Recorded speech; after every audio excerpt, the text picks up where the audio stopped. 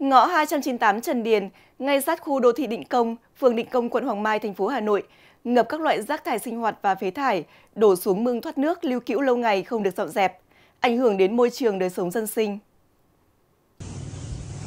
Con ngõ 298 Trần Điền, phường Định Công, quận Hoàng Mai, dài khoảng 100 mét, kết nối khu đô thị Định Công với ngõ 192 Lê Trọng Tấn, nằm ngay sau khu lán trại của công nhân đang thi công đường vành đai 2,5. Một bên là ngõ mương tiêu thoát nước, bên kia là nhà xưởng.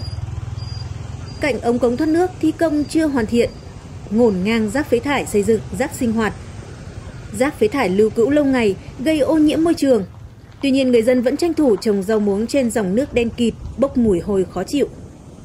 Những cư dân sống tại ngõ 192 Lê Trọng Tấn cho biết, rác thải chủ yếu đổ trộm do nơi đây khuất khu dân cư, chỉ có người qua lại nên người ta mang các loại rác đến đổ. Vì là khu không có dân cư nên cũng không được công nhân môi trường dọn dẹp thường xuyên.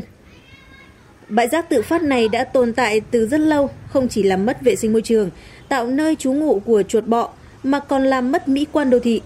Đề nghị chính quyền địa phương có biện pháp ngăn chặn bãi rác và sớm thu dọn để bảo đảm sức khỏe đời sống cư dân.